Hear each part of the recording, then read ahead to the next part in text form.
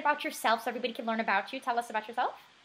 Sure. So my name is Dr. Mike Dow. I'm a psychotherapist, a neurotherapist. I'm a New York Times best-selling author, and I'm here today to talk about my new book, Heal Your Drained Brain, which is a natural way for people to relieve stress, anxiety, and insomnia. Fast, fast-moving world. You know what I mean? Everybody, I'm sure, has it in some way or another. So tell us, what really like, what can people do to kind of like calm that anxiety? What advice do you have for the people to, you know?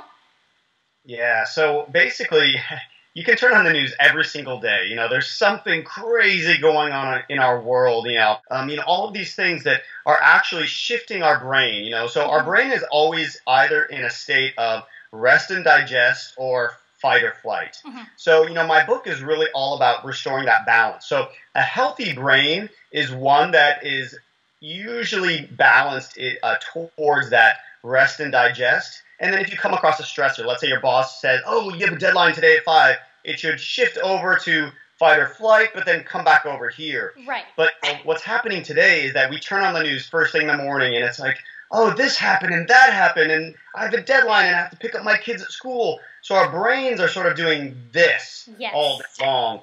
And, and, so we have what I call the three brain drainers, which are stress hormones. So we have adrenaline, norepinephrine, and cortisol. So these are surging not uh, not for 15 or 20 minutes or an hour, but basically all day long. And we know that this not only leads to anxiety and insomnia, but also in the long term, it's also associated with some very serious and uh, potentially life threatening health problems. So I think, exactly. you know, I was really called to write this book because Americans need it now more than ever. Exactly. And tell us, um, so when something like we said comes up on the news or something very stressful like that, what's your response? Like, what's the fight or flight action? What, what should everybody kind of do to stop? Like, instead of having a panic attack, what should everybody do to calm themselves or not have your mind trigger to fear?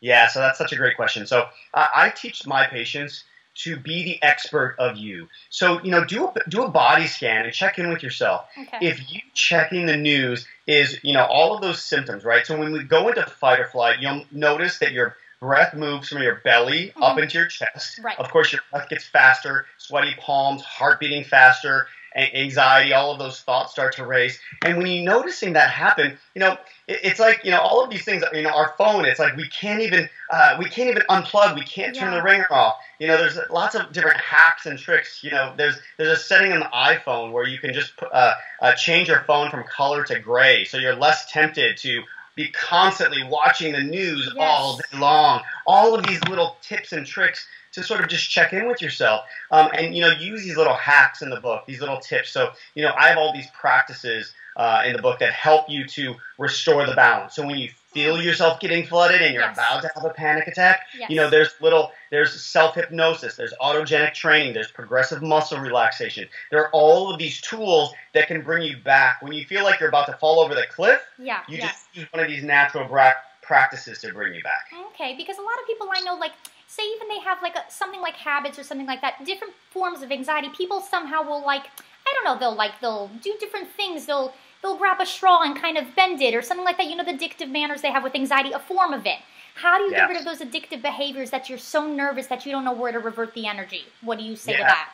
Well, you know, first of all, that is information that, you know, first, there's so many stress hormones in your body mm-hmm. that so, anxiety and stress is not just mental; it's also physical. So when you feel the need to pull your hair or yeah. do something straw or you know pick up something and crumple it or fold it, that is because you you have so many stress hormones. And think about this: you know, from an evolutionary point of view, when we were you know hunters and gatherers, and we felt stress, nature designed our responses to give us the energy to convert you know uh, all of the food that we eat into energy to run from a tiger. So nature designed us to actually use that energy in a physical way. So of course the modern brain um, we're not actually discharging that energy. We're not running from the tiger. So here we are we're sitting at our desk with our phone with our laptop with our ipad with the tv on and we have all this pent up anger, this this aggression, this anxiety, this yes. stress, this insomnia.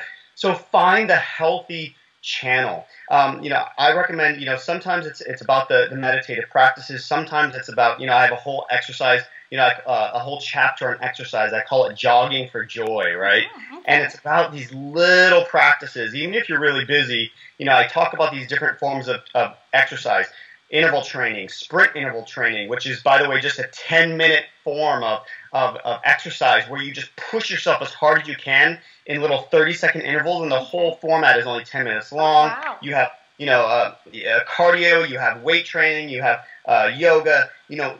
Know that nature designed you to to to rev to go. So find a healthy way when you have that habit. You know, I use what's called behavioral replacement therapy. Okay. So, you know, I, I worked a lot. I was the spokesperson for TLC's um, um, My Strange Addiction, and I was the host of TLC's Freaky Eaters. Right. So this is this is another one of my Yes. one of my specialties. So I always focused on what I'm adding to a patient's life rather than what I'm taking away.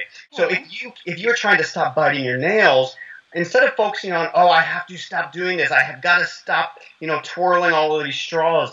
I would say what healthier behavior could you add to your life? You know, is it is it a little bit of walking meditation? Is it a little bit of interval training? You know, how can you discharge that energy in a healthier way? Exactly. And then another question is okay, so a lot of people that do have this anxiety and then they read your book and they're becoming very healed and everything like that, which is great. How do they not go back to their repetitive behaviors before? Because sometimes you could be healed completely. There's always that trigger, your back mind, that your subconscious that says, "Oh my goodness, that fear comes into play again." Does your book really help like get rid of that fear permanently? Can you tell us about that? Yeah, no, that's also such a great question because we are creatures of habit, aren't we? Ha- very And habitual, very bad. You know, all of these, you know, oh, I stopped smoking for 18 years, and then one day there was just something, you know, going Yes. through divorce, and I just, oh, I just picked up that one cigarette, and it led me down that path to smoking again. Yeah, yes. You know, and and really, it's all about those feel-good neurotransmitters. So the opposite of the what I call the brain drainers or those stress hormones are the brain balancers. So the good news is is that when you and you know we haven't even talked about foods and all of the foods that I Mhm, recommend that people eat that actually help your body to manufacture serotonin, GABA, all of these healthy brain balancers. And you know what's great about positive reinforcement when you start to feel good over the course of you know my 14 day program in the book, Mhm. or you start to feel good after a month or two months or three months of, of, of changing your life in some way, that usually becomes the rocket fuel for you to just keep on going, keep on going. Okay. And it is also about knowing your triggers, right? Mhm. So when when you go through something uh, tough in life, when you are going through that divorce, when you lose that job, that that is that is a a, a warning sign. That is a high risk period for people to relapse into old behaviors, habits. Uh, that is when you should up the self care, up the connection, uh, call your friends more, go to more dinners, uh, Yeah. spiritual practices. Mhm. That's when you should be, you know, go to the spa, get an extra Mhm, massage mhm. that week, whatever works for you, uh, so that you don't fall back into your old ways. Exactly. Okay, so tell us, you have a total of four books, right? There's a total of four, and your most recent. Go ahead and tell us about that. Yes, so this is my most recent. It has a beautiful yellow cover. Oh. Heal your Okay. drained brain. Very Naturally, anxiety, combat insomnia, and balance your brain in just 14 days. Okay. Uh, I also wrote uh, the New York Times bestseller, The Brain Fog Fix, which is Mhm. more uh, geared towards uh, sort of those foggy brains, people with brain fog, depression. And then, you know, uh, as the host of TLC's Freaky Eaters, I also wrote a book on food addiction, and that book was called Diet Rehab, which was my first book. Uh-huh. And and then this fall, I am writing my very first uh, Chicken Soup for the Soul, Ah. uh, which is called Think, Act, and Be Happy. Very cool. I actually also heard from you from um, the Bachelorette Girls. Were you on Ashley I's, Ashley and her sister show? I was, yeah. So I was Ben the Bachelor's therapist on his uh, freeform show, and yeah, I was recently on Ashley's uh, podcast. Ah, very cool, very cool. Okay, so Yeah. now tell us a little bit about this brain fog. Like, does it come really just out of the clear blue? Is it because of stress, like stress related things? How does the brain fog come about? And then why do people just, like we said, space out, just out of nowhere, just feel off? Tell us about that. Why does that happen? Yeah, so the difference between brain drain, you know, what I'm talking about in this book, this most Yes. recent book, and the brain fog fix. So a brain, a, a drained brain is one that has too much activity, right? So your brain is sort of, if, if I, I always I, I like to compare it to color. So Okay. you know, one of the reasons I, you know, if you look at the co- color of this of this cover, Yes. it's yellow and red. Okay. So if, if if a drained brain had a color, it would be yellow, red. It's frazzled. It's Frazzled. it's stressed out. It's just like always, you know, you have eighteen thousand things going on, and if you if you get fatigued, it's because you have too much on your plate. Mhm. So the brain fog fix, you know, it's funny. The color of that uh, cover was this this muddy gray. So the brain fog the brain fog fix was really about people who aren't making enough feel good you know uppers so you're not making enough dopamine or your brain is um, getting clouded by the plaques that eventually lead to dementia mm-hmm. so you need to sort of clean out your brain There's, mm-hmm. it's literally getting foggy right so it's really the difference between you know is your brain slowing down and getting sort of gunky or is your brain just sort of you know, have you put like a thousand, uh, a hundred thousand miles on a car and it's starting to sputter out and you need to sort of put in a new engine? Right. Well, tell us what type of foods then do you recommend that really help that with the brain fog and everything like that? What's those feel good foods that really help? Well, you know what's great for, in both books. Part of both programs are omega three superfoods. Omega-3. So in uh, Heal Your Drained Brain, uh, there are two usable forms of omega 3s. So okay. if you eat, like, uh, let's say you have a wild salmon uh, salad for lunch today, uh-huh. uh there's going to be two usable forms of omega 3s EPA and DHA. Okay. So EPA is what I call your stress less omega 3. Uh-huh. Uh, research shows that it can reduce anxiety, stress by about 20%. Uh-huh. Uh, and then DHA in that salmon is what I call your sleep soundly omega 3. Okay. Now, no, so it, it works for uh, stress reduction and sleep. But guess what? When I wrote the brain fog fix, research also shows, you know, I, I called um, EPA, I had different names for it, although it's the same wild salmon, the same EPA and DHA. EPA is your feel better omega 3 mm-hmm. because research has also shown that high levels of EPA uh, are just as effective in treating depression as prescription antidepressants. Oh, really? And yeah, and then I call DHA your Think Better omega three okay. because it's been shown to prevent cognitive decline and dementia. So you know, isn't it so cool that if you have that wild salmon for lunch and you get all those delicious omega threes, it's mm-hmm. doing so many incredible things for your brain and it's shifting your brain from a, a state of inflammation. You know, the standard American diet with all the processed factory farmed meats, mm-hmm. those are very, very high in omega 6s. Mm-hmm. Having this really clean seafood shifts it over to omega 3s, so you're moving from inflammatory to an anti-inflammatory state. Most Americans are actually suffering from high blood sugar. Yeah. So they're actually fogging their brains with too many, too, many uh, too much sugar, too much uh, flour. If we don't get enough, uh, uh you know, carbohydrates, um, we're also going to be foggy. Remember that mm-hmm. carbohydrates are the brain's uh, preferred source of fuel. But here's the thing people take that and they think that, oh, that means I need orange juice. That means I need yes. a little soda. That means I yes. need a little, you know, bread. That's not what that means. That means that your brain needs uh, organic berries, right? Ah, One of the ah, best foods. Okay. You know, you need whole fruits. Nature did not give us bread. You know, no, nature no. us As nice right? as that is, yeah, no, exactly, yeah. exactly. Na- nature didn't give us candy, right? right, so exactly.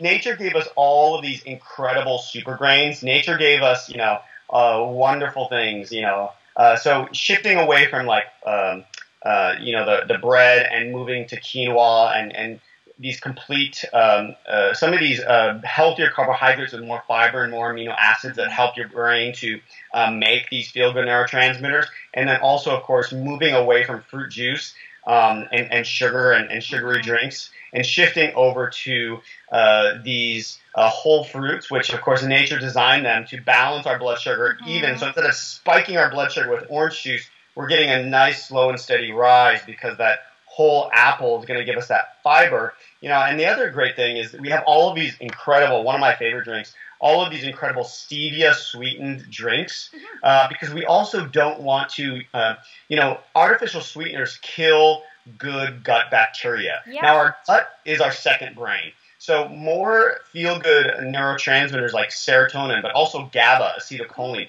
they're mm-hmm. made in our gut and they travel to our brain. Artificial sweeteners kill that good gut bacteria. Yeah, yeah. So that can actually cause and contribute to anxiety, depression, right? Yeah, exactly. So we want to shift from these artificially sweetened drinks uh, to uh, if you do like something a little bit uh, sweet from time to time, mm-hmm. Uh, these wonderful um, stevia sweetened beverages. You know, some of my favorites are uh, Vitamin Water Zero. Uh, there's some others on the market right now. so they're using that natural form of sweetener um, and even at Starbucks, you know, they now have a stevia, you know, at that at that little coffee bar, so you don't have to. You can move away from the the aspartame and the equal and exactly. all that all that garbage. Exactly, and then tell us about like fatigue and tiredness and just that energy that you're everybody's lacking. Tell us how we can kind of avoid that and why again is that happening.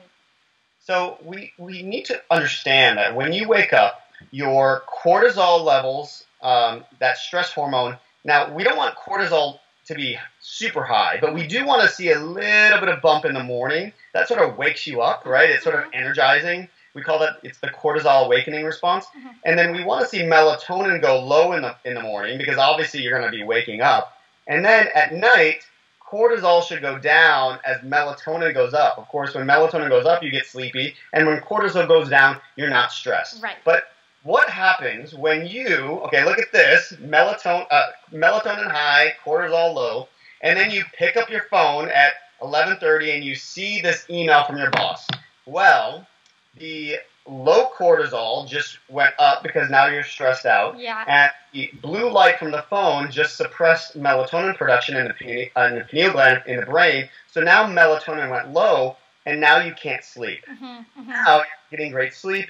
Now, when you wake up in the morning, you're not sleeping well, and you have reversed these two these two hormones these that, that are supposed to be that are functioning in this natural 24-hour rhythm, and everything that we are doing in our modern world is sort of pushing them out of balance, Out of right? balance. Exactly.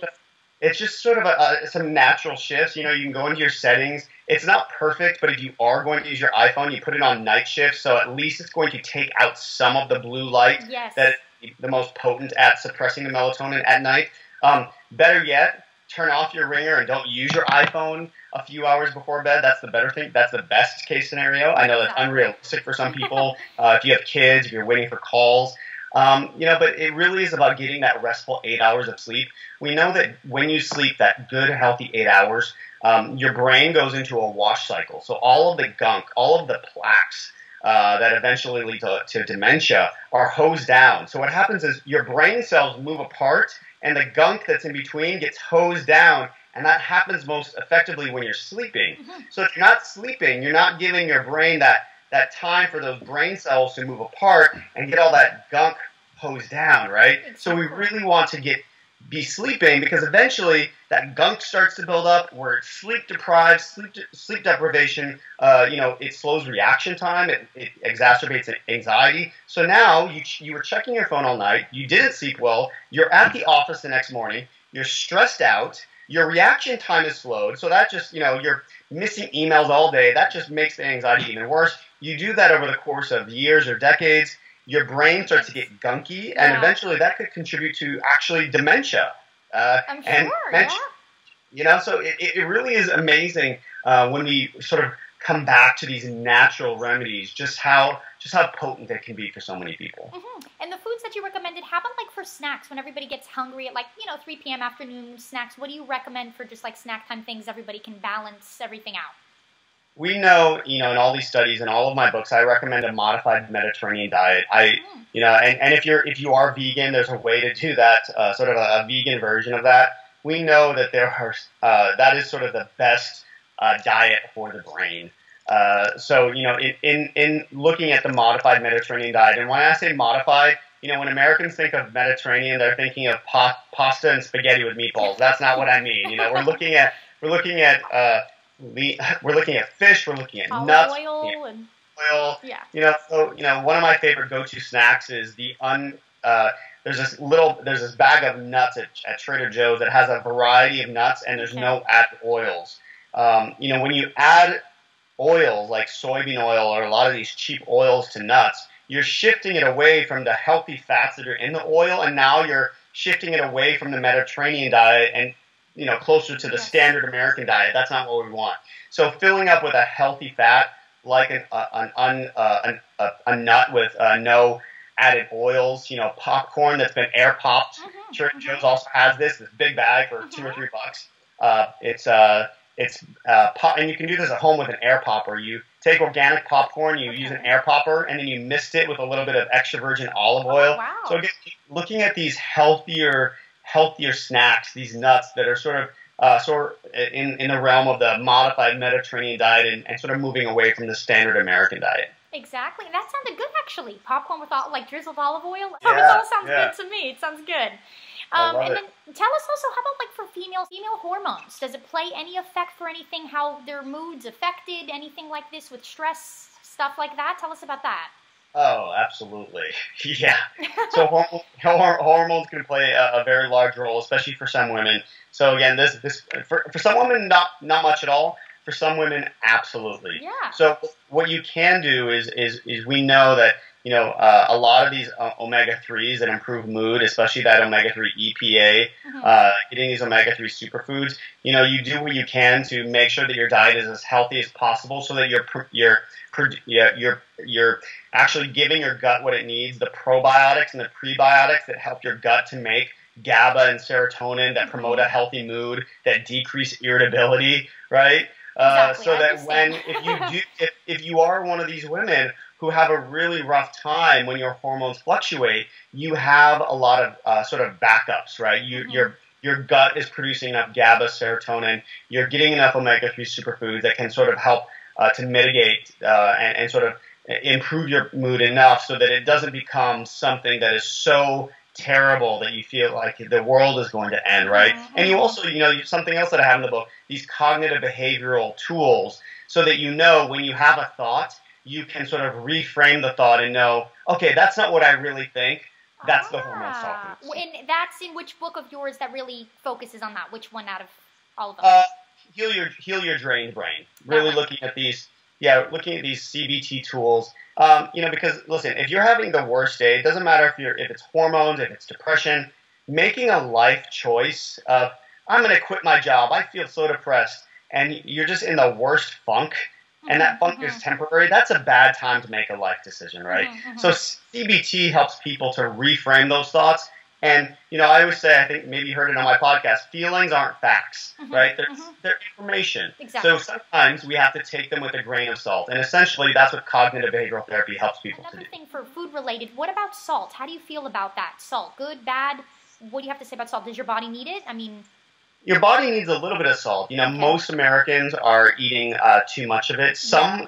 listen, we there are sort of general recommendations because some people can actually tolerate salt, and for some people it, it increases their blood pressure. So we yeah. have these sort of blanket recommendations uh, so that we're not going to increase, uh, you know, risk of heart disease and all that. Uh, now, some people can tolerate it, some people can't. Uh, if you're a marathon runner, sometimes you can actually become deficient, right? So you want to make sure you're getting enough salt. Uh, 99%, I would say 99 or maybe 95% of Americans are getting too much too salt, much. right? And, and the food companies sort of use this flavor layering. You know, we have these five taste buds, uh, these five different types of taste buds on our uh, on our tongue: sweet, sour, salty, bitter, and umami. And you know, they sort of layer sour with sweet and salty, so that we start to get these cravings. Mm-hmm, so that mm-hmm. we're craving a salty food, we're also craving savory, we're craving sweet. So now we're getting sugar with salt, with fat, and it's just a disaster for our health, right? So if you're if you're craving a little bit of salt, that's okay. You know, I, I would say, you know, going back to that delicious snack, the uh, the extra virgin olive popcorn uh, with a little maybe a little bit of pink uh, pink Himalayan salt uh, on the top, but you know, staying away from the movie theater popcorn with Unhealthy. just uh, there are tons of table salt and all the processed foods. We want to stay away from you know the, those mega doses of sodium that so many American foods are, are, are laced with these days. Exactly. Well, that's some great information you gave us so far with all the food and everything like that. I'm sure everybody's going to learn with that. Um, we're going to switch our topic now to love-related matters. Tell us a little bit about like love advice, everything like that. Everybody wants to know if they can't find love in their life so far, haven't found their soulmate. What advice do you have for people to keep on going and do that? I have a mantra, and that is there is a lid to every pot. So if you have not found your lid, uh, keep keep on looking. Um, you know, there's just this incredible story that literally, I when I was reading it, you know, in this next book that's coming out in September, uh, my book that I'm doing with Chicken Soup for the Soul. It's uh, it's basically how to use your brain to be your own therapist. So this book starts off with real Chicken Soup for the Soul stories, as all the Chicken Soup for the Soul books do. Mm-hmm. And then at the end of the chapter, I tell you, you know, how cognitive behavioral therapy can help you, the reader, and what, you know, maybe this person's story um, taught you. And, you know, I was, and I had to read, uh, oh, I don't know, they sent me over thousands of stories, and I had to choose 50, you know, which was hard. And I, I remember reading the story, and it's it's one of the one it's one of the stories I chose and and she was talking about how hard it is, and and then she reveals that you know she's in a wheelchair, but you know she's lucky because she has some use of her limbs, but her husband you know he doesn't have any, and he's a quadriplegic. Oh my goodness. And then and they talk about their love story, and then they talk about uh, how they wanted to have a child and how they made that happen. wow. You know, and and and you know we think I, I cannot believe how many people, how many women that I have treated. I think women more than men. You know, uh, again, sometimes there's an exception to the rule, and I don't mean to generalize, but there's something that in Los Angeles, maybe this is uh, maybe it's just the women that I have treated. I, maybe this is my sample size. So again, I don't mean to generalize, and you know, I, I've had men say this to themselves too.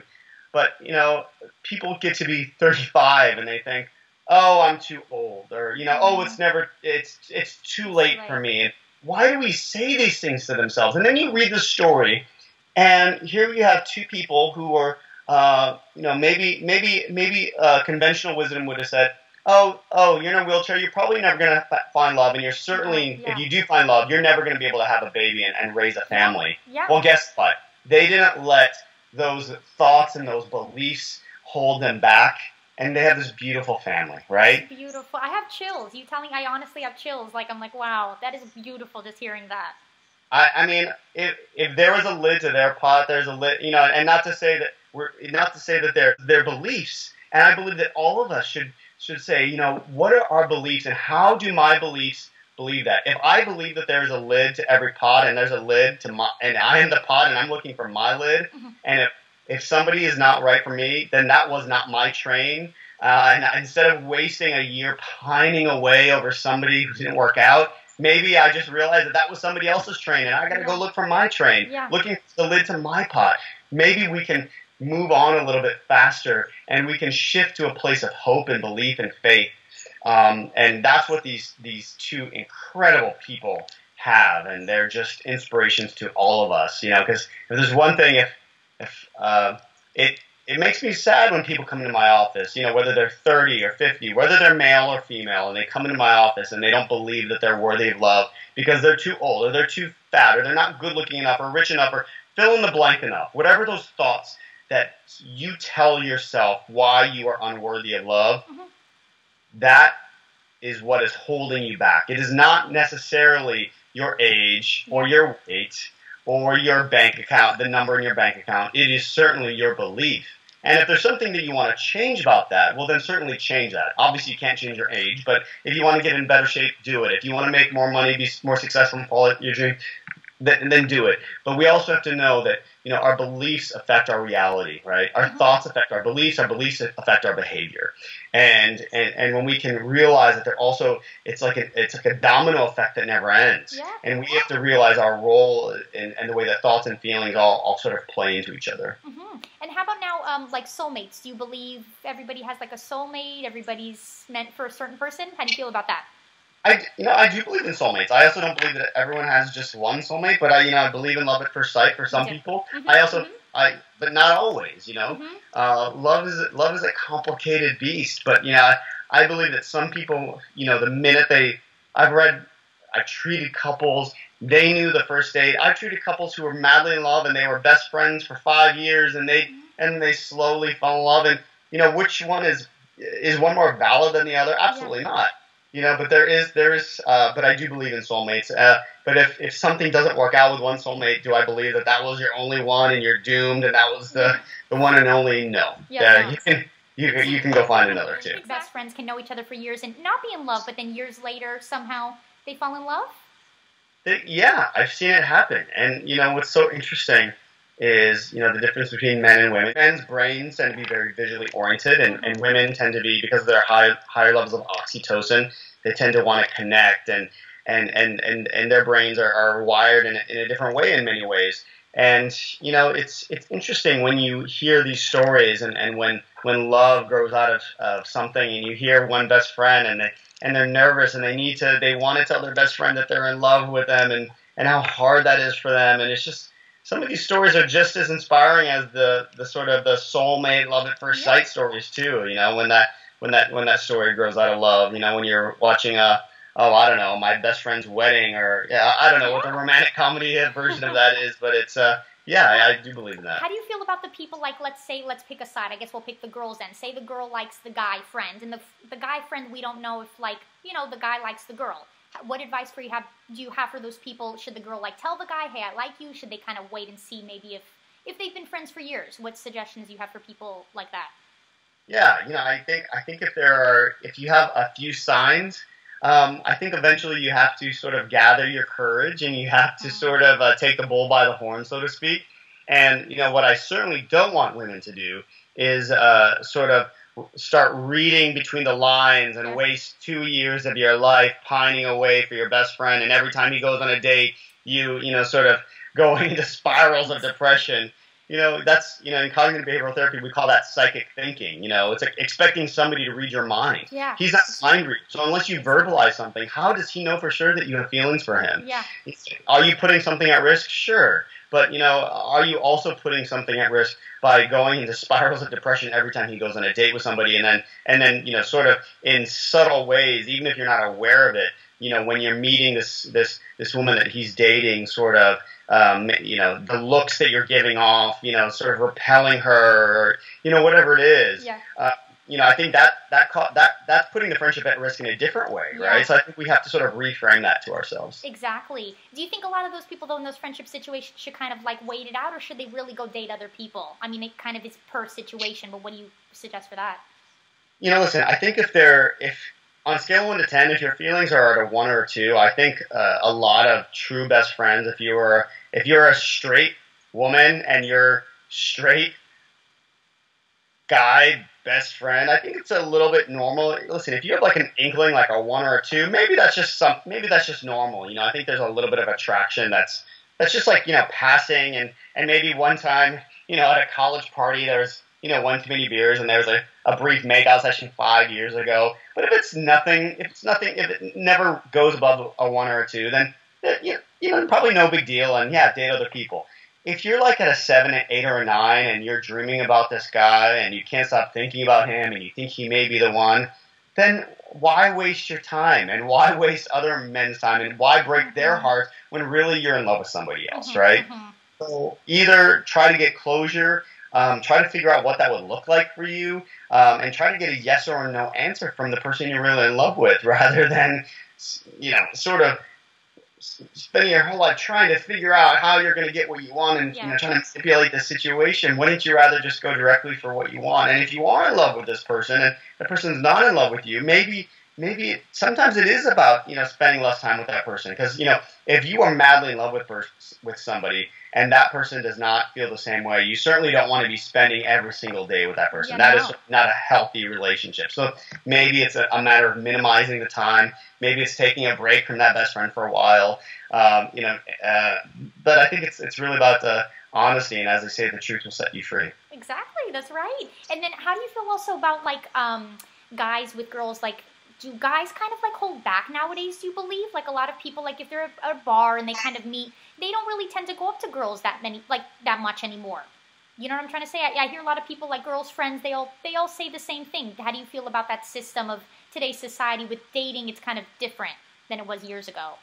It, it certainly has changed. I think uh, for for the better and for the worse. I think Mhm. sometimes it uh, you know for the better. You know. It, it's it's it's sort of now a, the land of equal opportunity. Yeah. So if you are a shy guy, it's no longer up to you to make the first move. It's not up to you to pay for every drink and every dinner. Um, it- listen, women are making just as much money or more than men, as they should be. So sometimes that means that women are making the first move.